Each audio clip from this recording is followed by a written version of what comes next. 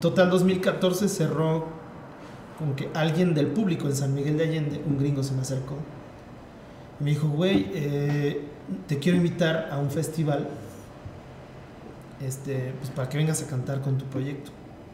Y yo, no tengo proyecto, pero pues vamos. Es en Nueva York. Y yo así de nah, frío, güey, así. Me dio así, hiperventilé. Ujú. Ya me estoy acordando aquí. No, no es ese tipo de. No es ese tipo de podcast, perdón. O sea, sí vende más. Si vende más, pues querías rating, güey. no, pero yo te voy a, te voy a Nos van a ver más- más que rating, a- Chingo de dislikes. Te voy a dejar de Me más ofende. que rating. Estaba la invitación para ir al festival de jazz. Yo cagado, güey. Así, me invitaron, yo creo que debe haber sido como en agosto, septiembre. Y el festival era en noviembre. Hubo una bronca ahí con Gil, con el guitarrista. Porque pues yo de cajón dije, bueno, pues vengo con ellos, ¿no? O sea, voy con ellos. Este, al final un- una bronca ahí con Gil. Eh, ¿Para qué te cuento, güey? Este, una semana antes Gil me cancela, güey. Ya teníamos los vuelos comprados, güey. Ya, Ah, nos habían, ya nos habían hecho la transferencia. Y este, pues era una lana, güey. Y yo así de, no mames, ¿qué, voy a hacer? Le marqué a este güey y le dije, güey, pues no voy a poder ir porque me cancelaron los músicos. ¿Todos? No, nada más Gil, pero pues Ah. Gil traía toda la banda, ¿sabes? Pero los demás, Era- ¿qué pedo? pues jalaron con él. Era como Ah. inherente, güey, así Oh, como, era como de cajón, jalaron con él. Ya, Pues es el que realmente él era el que les generaba chamba, güey, ¿no? Ok, ok. Yo también siempre fui árbol 3 ahí, Ujú, Ya, ya. ¿sabes? Entonces, eh, a, a- a mí también me hizo, se me hizo muy interesante porque cuando, cuando yo le dije, ¿sabes qué? Me, me estaba muriendo, güey, así de terror. Ya nos habíamos gastado una lana, tenía que pagarle los vuelos a ese güey. Y dije, puta, pues le tengo que cancelar, ahorita veo de dónde sacó lana para regresarle la lana. Y me dice, no, güey, pues es que realmente yo te invité a ti, güey. O sea, si te canceló el guitarrista, pues chingues Tráete madre, otro. pues, Ajá. trae- trae- tráete otro. Ajá. Y yo así de, ay, güey, pues déjame ver qué puedo hacer, ¿no? Ujú. Este, pues me puse como loco a ver quién. La verdad es que mi primera idea fue Dani Pimentel, porque era el que yo conocía. Y este. Sabía que iba a ser alguien que se iba a clavar conmigo, que me iba a sacar del bache. O sea, literal faltaban dos semanas para presentación. Yo estaba así que no podía ni dormir, güey. Así dejé de trabajar, me valió madre, güey. Sí, es una No, responsabilidad de esas. Y al final, al final Dani, Dani yo, yo estaba encantado con que Dani me- obviamente me había dicho que sí. Y, y hablando con este señor me dijo, es que, mira, el concepto es jazz, Ujú. entonces necesito que traigas jazz. Y al final por eso no se pudo cuadrar con Dani, me sentí súper inseguro. Y otro cuate me recomendó con un guitarrista que ya estaba allá. O más bien que estaba aquí, pero vive allá, allá en Nueva York Ujú. Este Pablo Pablo Reyes creo. Un guitarrista mexicano. Lo contacté me cobró las perlas. Sí güey nada se pasó de lanza. y este y él conocía a otro cuate eh, venezolano que tocaba el contrabajo que toca el contrabajo. Obviamente pues también son unas Top. eminencias güey, son unas eminencias güey son unos súper chingones. Pues me hizo el paro. El guitarrista estaba aquí en Querétaro de casualidad. Entonces nos vimos un par de veces en la casa, le planteé el problema, pues obviamente se me agarró en super curva, medio hicimos ahí música. Ujú. El concepto era música latinoamericana, como medio, pues yo aflamencándola, pero yaceada, ¿no? Ujú. En términos de armonía y música. Sí. Entonces empezamos a armarlo aquí en México, nos fuimos a Nueva York y en- nos encerramos en el depa del, del contrabajista en el Bronx.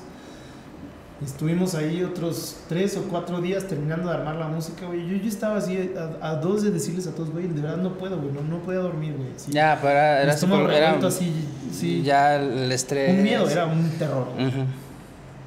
Tan- tanto que antes de la presentación yo estaba en mi habitación en el hotel y literal yo no quería ir, güey. O sea, me quería meter en mi cama, güey, así de no, por favor, no me lleven, güey. no, güey, Quiero poner una cagar, no película. por favor, no, Quiero güey. poner una película y olvidarme de todo esto.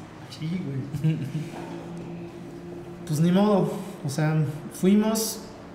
El, el productor Bueno, el productor es otra, es otra historia porque me apoyó cabrón. Una super persona, güey. Me apoyó bien cabrón. Fue el que me dijo, güey, re- relájate, tranquilo. Yo, te, yo también sé lo que puedes hacer. Tranquilízate, güey, lo van a hacer bien. Antes de nosotros tocó Paquito, Paquito Rivera. No este.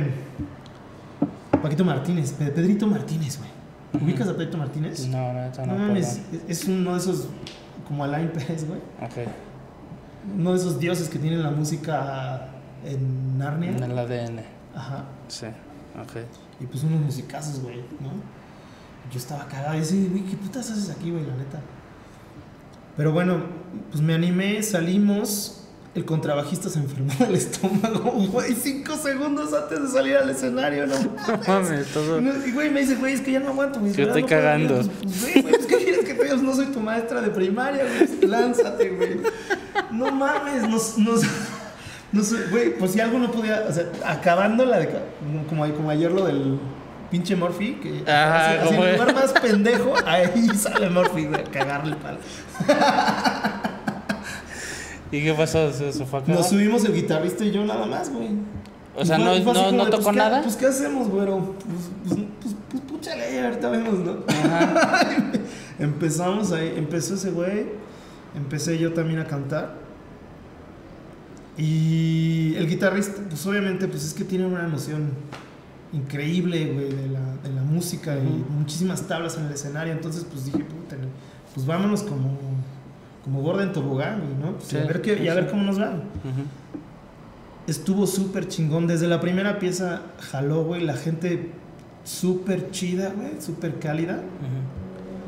Y este, y ya de repente se me ocurrió, porque ya había el bajista así con, así, güey, atra- atrás, güey, así como de, no mames, no mames, no mames, ¿qué hacemos? ¿Qué hacemos? ¿Cómo- cómo ¿Me subo, güey? ¿O qué hago? Yo así de, puta, güey, no sé qué decirte, güey, yo estoy acá arriba, güey.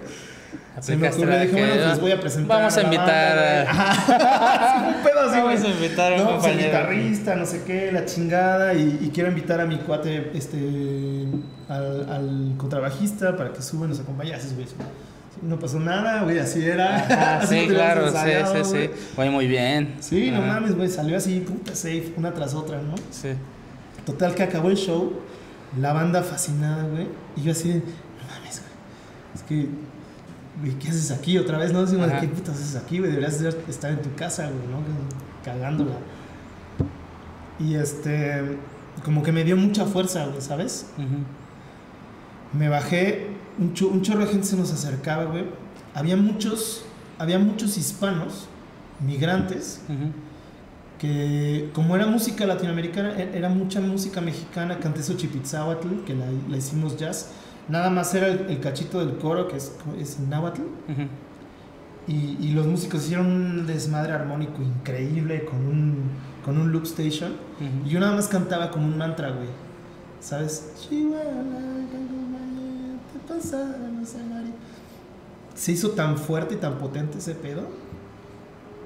Este, que la gente se nos acercaba y, y, y con, una, con una calidez este, nos decían, no mames, güey. O sea, me regresaste a Veracruz, güey. Así como me, Ujú. regres, me regresaste a Michoacán, güey. Soy de un pueblito así chiquitito. Tengo muchos años acá y tengo muchos años que no veo a mi familia.